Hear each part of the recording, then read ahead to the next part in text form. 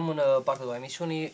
Arman Călinescu, nu? Arman Spuneți Căl- că e foarte dur cu toate momentele acelea cu legionarii. Uh, De fapt, ascensiunea politică a lui Arman Călinescu e normală. Pentru că Arman Călinescu a început treptat. A început ca deputat, a început ca prefect, a început ca subsecretar pe la diferite ministere, iar numirea lui în funcție de uh, prim-ministru a fost ok din punct de vedere și politic și din punct de vedere și al omului care cunoștea cât și cât... Ce, în ce a fost numit uh, Uh, prim-ministru? A fost numit în 39, în 7 martie 1939 a fost numit prim-ministru. Ce se întâmplă? De la luarea uh, conducerii ministerului, el, scopul lui a fost să distrugă complet garda. Asta a fost În misiunea. moment în care facțiunile naziste în Europa erau în, în Da, floare. în floare. El, ăsta a fost scopul, în cârdășie cu regele și cu Gavrilă Marinescu. Aceștia au fost Șeful oameni, poliției, ca să șeful spunem poliției, prefectul capitalei, ca să spunem așa, prefectul capitalei, șeful poliției Gavrilă Marinescu, care era omul care făcea toate treburile murdare a regelui Carol. Tot ce era mizerie, el și cu Urdăreanu, care era la palat, lui Urdăreanu, de fapt, nu se mai spunea Urdăreanu, se spunea Murdăreanu, datorită, da, ei, uh, intrând uh, pe făgașul acesta, a urmărit tot timpul această uh, uh, lucru, terminarea mișcării legionare. Pentru că mișcarea legionară a avut niște momente culminante și a avut, i-a dat de gândit lui Carol și Carol la un moment dat a venit și a spus lui Gavrilo Marinescu, domnule, uh, sunt niște adversari de temut, trebuie să-i terminăm. Uh, în Spania a murit Moța și cu Marin. Marin. La Ei, Mahaladonga, în În, 1957. în uh, moartea acestor doi a creat așa o, o psihoză în țară încât oamenii s-au manifestat într-un, într-un stil în care ei nu s-au așteptat.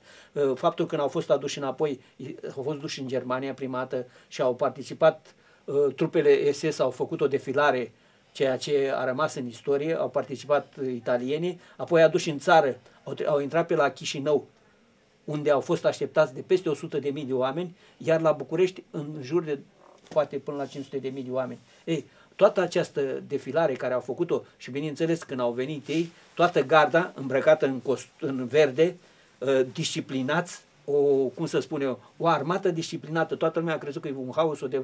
Ei, toată această mișcare a creat în, în, în capul regelui, regele a urmărit de la un balcon din capitală, a urmărit toată demonstrația și toată defilarea legionarilor care au dat onorul celor doi morți Comandanța lor. comandanța ai lor. Bun. Tot, toată treaba asta, pur și simplu, l-a îngrozit pe Carol și l-a chemat pe Marinescu într-o discuție particulară și a discutat că trebuie să se distrugă garda. Bun.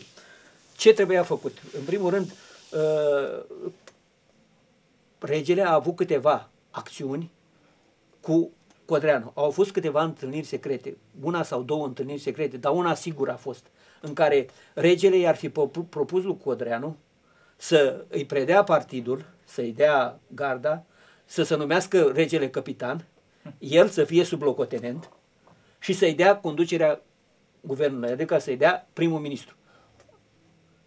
Bineînțeles, Codreanu a, a refuzat, spunând că garda nu-i pregătită să preia conducerea țării, nu avem oameni care să fie pregătiți să preluăm conducerea țării, iar pe noi nu ne interesează să dăm o lovitură, pentru că el tot timpul în cărticica cu- lui, a șefului de cuib și a legionarilor, uh, ideea era că uh, regele se temea că va da o lovitură și cu Camarila. Nu. Carol, uh, Codreanu spunea tot timpul, nu urmărim să dăm o lovitură. Noi vrem ca să conștientizăm masele de ce se întâmplă și lozinca lor era că noi când vom veni la putere, dacă vom câștiga puterea, toți cei care au tâlhărit banul public vor fi judecați.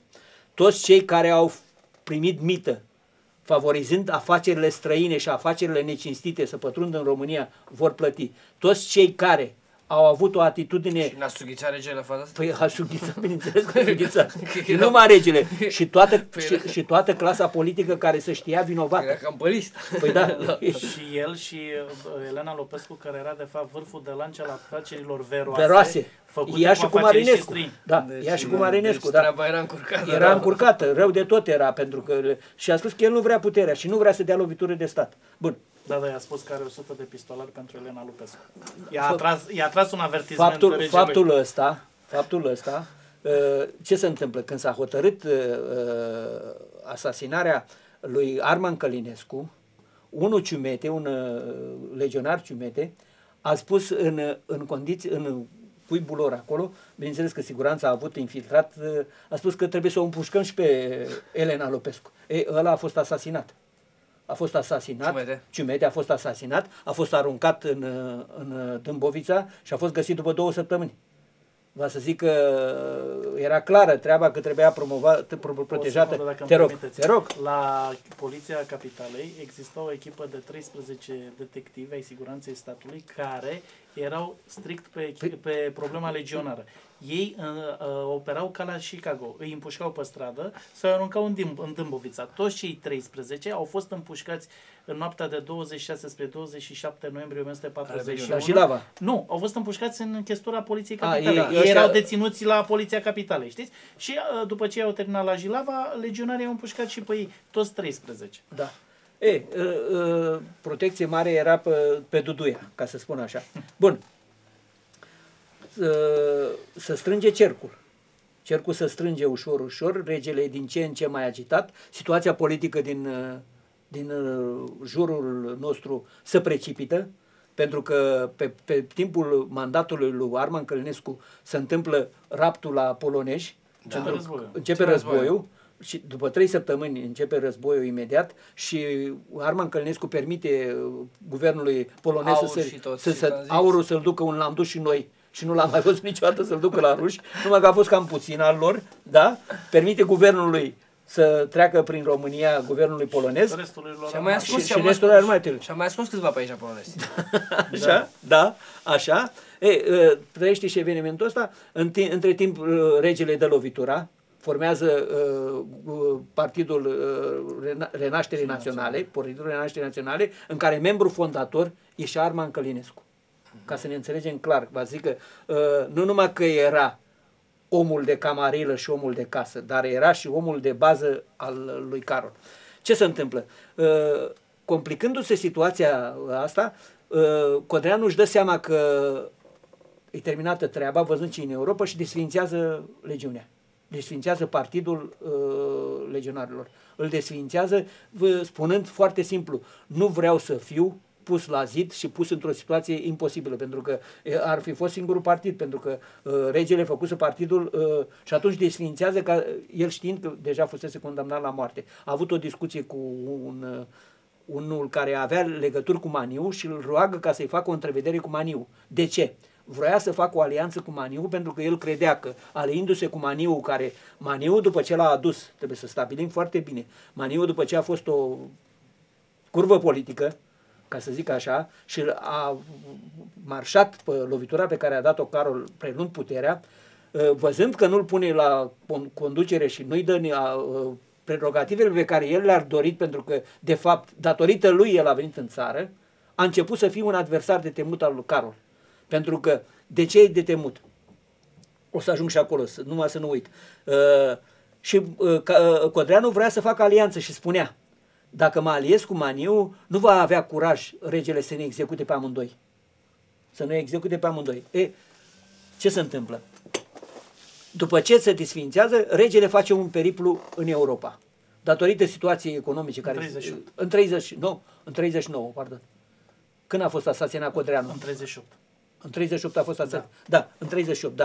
În 38 face un periplu în Europa. Se duce în Anglia, în- începe în noiembrie periplul. Începe în noiembrie, se duce în, în uh, Anglia, se duce în Franța, nu găsește niciun sprijin pentru protecția uh, granițelor care deja erau amenințate, pentru că trebuie să știm și să recunoaștem și să spunem de atâtea ori că această Românie mare nu s-a făcut cu efortul uh, casei politice și a monarhiei, cum bate toată lumea din pinte, ci datorită contextului istoric. Și în acest context istoric, România mare s-a făcut pe teritorii luate de la vecinii noștri care tot timpul le-au râvnit și le-au luat prin forță. Da, nu iubește Nu, dar nimeni. să spunem de ce n-a, n-a primit uh, Carol niciun sprijin. N-a primit Unu, nici- Englezii i-au cerut să nu arunce în aer Uh, uh, sondele sondele să, pe care- să scoată să, să- le dea petrol, petrol. dar ei nu pot să asigure cu trupe apărarea Apărarea României. României. Franța avea problemele ei, Pentru că, uh, de ce avea problemele ei Franța? Pentru că Germania le-a rupt în față contractul care l-a avut, pur și simplu și-a bătut joc de ei, n-a mai respectat nimic din contractul de pace care s-a făcut Ăla de la,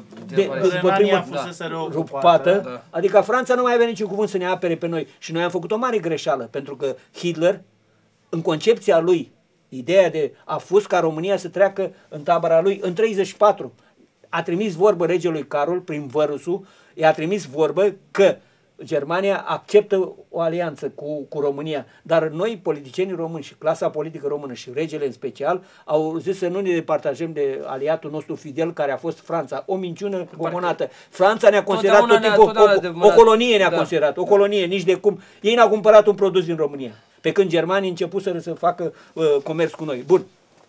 După periplu, uh, se duce și în Franța. În Germania. În Germania, pardon, după ce a terminat Anglia și Franța, se duce în Germania. La acest periplu pe care l-a avut, a fost uh, și Mihăiță cu el. A fost Mihăiță care pentru prima dată a dat mâna cu, cu Hitler, l-a cunoscut și Mihai. Asta a fost singura împrejurare în care Mihai face niște declarații că l-a cunoscut el pe Hitler. Nu l-a cunoscut decât a dat mâna Hitler cu el și a intrat cu taică și a discutat uh, problemele. La tot uh, scenariul care s-a făcut, Hitler n-a, n-a schițat niciun gest uh, de simpatie față de Carol și uh, lucrurile au rămas în coadă de pește. Să spunem că întâlnirea a avut loc stând în picioare. Hitler nu l-a lăsat pe Carol să se așeze. Exact a urlat la el, i-a spus că e dictator și că el... Era mai mare dictator da, ca el. Da, l-a făcut, Hitler a făcut dictator, dictator mai mare ca el. Și i-a cerut să-l pună în libertate pe Corneliu Zelea Codreanu, care era în momentul acela condamnat la închisoare grea pentru o calomnie adusă. Stați așa un pic, că imediat spun. Da. De ce a fost condamnat. Dar, uh, nu, vreau să spun că între ei, ei? doi alerge, alerga Hermann Göring, care era un tip uh, obez, Vezi? că ăștia să jigneau unul pe celălalt, știi? Da. Să, da. După ieșirea de la Hitler, Carol spune, am avut impresia că am discutat un Kellner și tot timpul aveam impresia să-i spun să mai aduc o bere. Până acolo a mers... La da. Greu. Bun. Ce se întâmplă? Să ajungem acum la condamnarea lui uh, Codreanu. Codreanu ce se întâmplă? Codreanu a, ia, uh, în, în România, în perioada când a început uh, din 30 încoace, uh, toate, uh, toate cârșmele, toate magazinele erau în mâna evreilor. Uh, uh, Iorga, care la început a încurajat mișcarea, și a spus că uh, și autohtonii și românii pot să facă uh, lucrul acesta, să-și deschidă magazine, să-și facă uh, cârcium și să fie un comerț al românilor, a încurajat acesta, legionarii au făcut lucrul acesta. Ei, când a ajuns în tabăra regelui, pentru că ce se întâmplă? Uh, Gheorghe a făcut mari greșeli, pentru că faptul că din punct de vedere istoric, nu avem ce să-i spunem, dar din punct de vedere politic a trecut totalmente cu, cu arme și bagaje în tabăra regelui, a fost omul regelui până la capăt și n-a avut ce să facă. El a, singurul cuvântul care l-a spus el uh, la Consiliul de Coroană din 1940, când regele spunea că nu avem uh, uh, tancuri și nu avem avioane, atunci uh, uh, Iorga l-a întrebat, dar cu banii de pe timbru ce s-a făcut majestate? În care capul, regele a lăsat capul în jos și n-a mai scos o vorbă.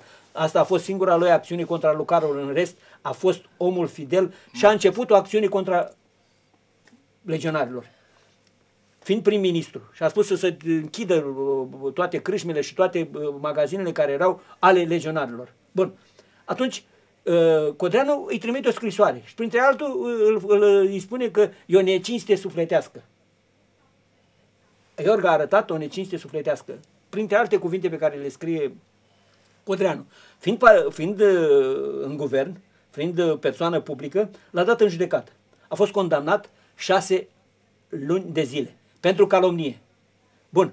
Cât a fost în închisoare, domnul Arman Călinescu i-a refăcut un nou rechizitoriu și i-a pus în cârcă că s-a aliat cu o putere străină. Pentru că, cu, Germania. La, cu Germania. Pentru că la un moment dat, Codreanu a spus așa, dacă noi vom lua puterea, noi în 48 de ore ne unim cu Germania. A făcut această declarație publică, mhm. Codreanu. Mm-hmm. Ei, i-au făcut acest dosar și l-au condamnat la 10 ani de închisoare la sare. Mun- muncă grea. Condamnată în instanță militară. Militară. Deci nu civilă. Nu civilă. Adică la ordin. La ordin. Adică, domnule, cu alte cuvinte, ca să înțeleagă lumea de ce au venit aceste răzbunări, cu alte cuvinte, uh, din punct de vedere politic, uh, Codreanu era uh, terminat. Erau decemvire acolo arestați, erau Nicadori erau arestați, erau 13, 13 și cu el 14 erau în închisoare la Buzău da? la Râmnicu Sărat, pardon, erau în închisoare la Buzău, 14 inși. Din punct de vedere, erau toți condamnați, aveau pedepse peste 10 ani. Cea mai mare, cea mai mică era lui Codreanu și ceilalți erau, adică din punct de vedere al vieții politice, era, la ce le-a mai trebuit să facă ce a făcut?